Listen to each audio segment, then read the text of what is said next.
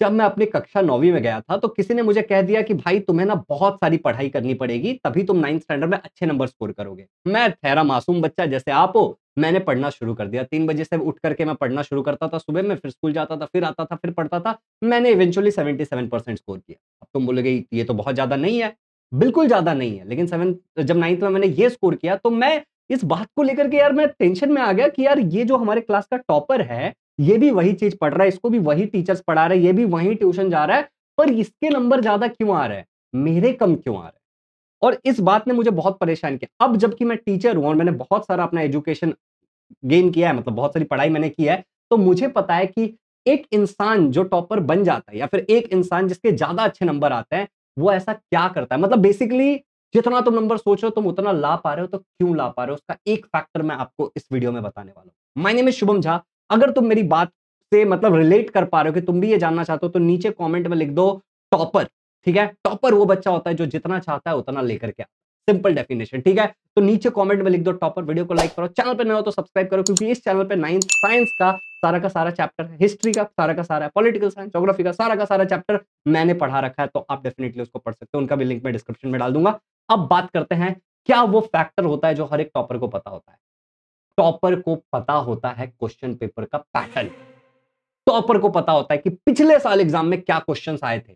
मेरे स्कूल में मुझे दो बच्चे याद है। एक मेरे डिवीज़न के, हमारे स्कूल में दो डिविजन थे टेंथ स्टैंडर्ड नाइन्थ स्टैंडर्ड में। तो एक मेरे डिवीज़न की एक लड़की थी I not go with the name और दूसरे डिवीज़न में एक लड़का था। ये दोनों उस पर्टिकुलर क्लास के फ़र्स्ट रैंकर होते थे।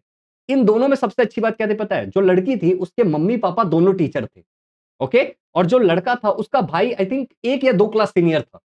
इनको बस ये हो जाता था कि इनको पता होता था कि पेपर पैटर्न क्या है, इनको वो गाइडेंस मिल जाती थी, जो कई सारे लोगों को नहीं मिल पाती है। तो पेपर पैटर्न को सबसे पहले समझते हैं, उसके बाद बाकी चीज़ों की बातें करेंगे।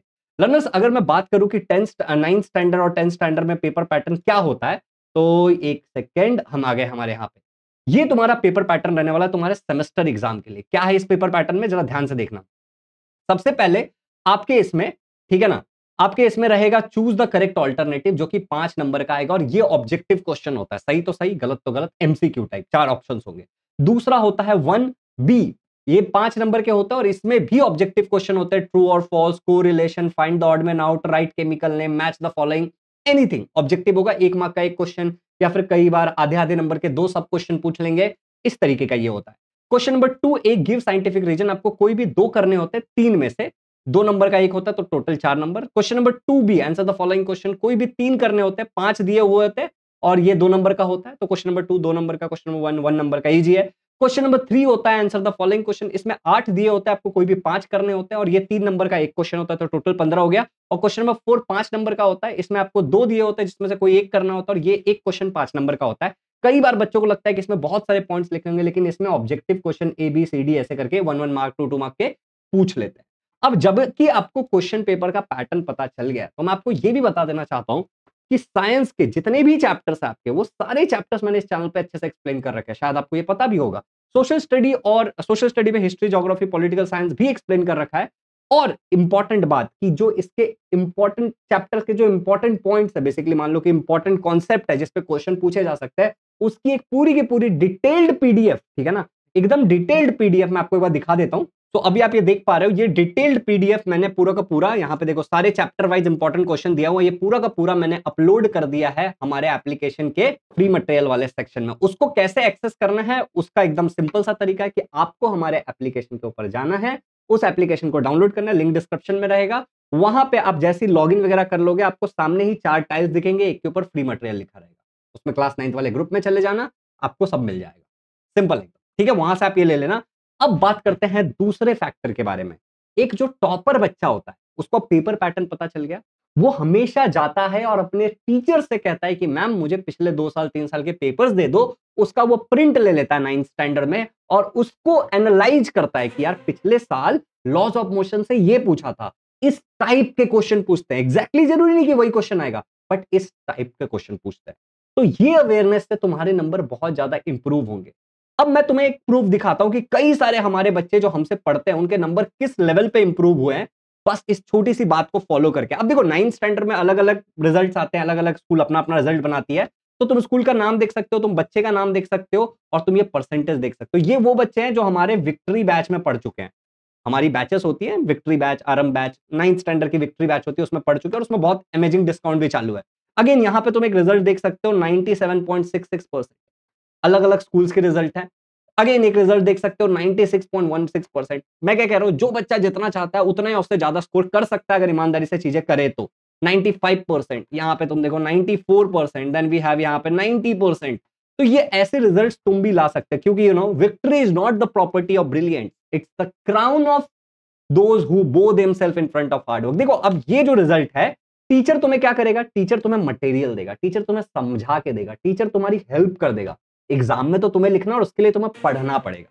तो दैट्स द थर्ड सीक्रेट पहला सीक्रेट पेपर पैटर्न पता होता है। दूसरा, वो लोग पेपर पैटर्न पुराने पेपर्स लेते हैं टीचर से, उसको एनालाइज करते हैं और तीसरा सीक्रेट है कि वो मेहनत करते हैं। ऐसे ही नहीं, सर पे ताज मिल जाता लर्नर्स अगर आप भी मेहनत करने के लिए तैयार हो तो हमारा एक बैच है, जिस बैच का नाम है बेसिकली विक्ट्री बैच अभी अगर आप यहाँ पे देखोगे तो आपको प्राइस दिख रहा होगा, उस पर फिफ्टी परसेंट ऑफ़ है। बट बट कुछ लर्नर्स के लिए हमने एक कूपन कोड बनाया है अगर आप ये कूपन कोड लगा देते हो तो आपको एडिशनल डिस्काउंट मिलेगा। टोटल 67 परसेंट का आपको डिस्काउंट मिलेगा। और ये पाँच हज़ार रुपए में आपको क्या क्या मिलने वाला है, मैं एक बार आपको बता देता हूँ। लर्नर्स इस पाँच हज़ार के अंदर आपको सबसे पहले, ठीक है ना? आपको सबसे पहले आप इंग्लिश मीडियम हो सेमी इंग्लिश मीडियम हो, दोनों के लिए सारे सब्जेक्ट्स आपको मिल जाएँगे। तो ये पूरे टीचर्स सारे टीचर्स पढ़ाते हैं लाइव ये जो बैच है ना, इस बैच में सारे क्लासेस लाइव होते हैं, हर एक टॉपिक के ऊपर, हर एक क्लास में आपका हम कोशिश करते हैं कि ज़्यादा से ज़्यादा सिलेबस कंप्लीट करें, अच्छे से अच्छा एक्सप्लेन करें तो आपका पूरा सिलेबस पढ़ाया जाएगा। टर्म वन का रिवीजन कराएँगे, पूरा टर्म टू पढ़ाएँगे आपको। आप मोबाइल पीसी टैबलेट कहीं पे भी एक्सेस कर सकते हो। हर एक क्लास की रिकॉर्डिंग भी दी जाती है। Chapter wise doubt clearing session होता है। लाइव रिवीजन कराते हैं एग्ज़ाम से पहले। पर्सनल मेंटरशिप होता है। टेस्ट सीरीज़ लेते हैं बच्चों का, जिसमें बच्चों को हम पेपर चेक करके देते हैं। तो बहुत सारी चीज़ें इसके अंदर इंक्लूड कहाँ बज रहा है? ओके तो बहुत सारी चीज़ें इसके अंदर इंक्लूडेड है। एप्लीकेशन पे आपको मिल जाएगा। फ़र्स्ट हंड्रेड कूपन कोड आपको लगाना पड़ेगा एडिशनल डिस्काउंट के लिए। बाकी अगर आपके मन में इससे रिलेटेड कोई भी प्रश्न हो तो डिस्क्रिप्शन में एक नंबर है। इस नंबर पे आप कॉल भी कर सकते हो। इंक्वायरी पर्पज से तो थैंक यू सो मच अब पेपर पैटर्न को आप समझो, अपने स्कूल टीचर से हेल्प लो बाकी सब्जेक्ट के लिए।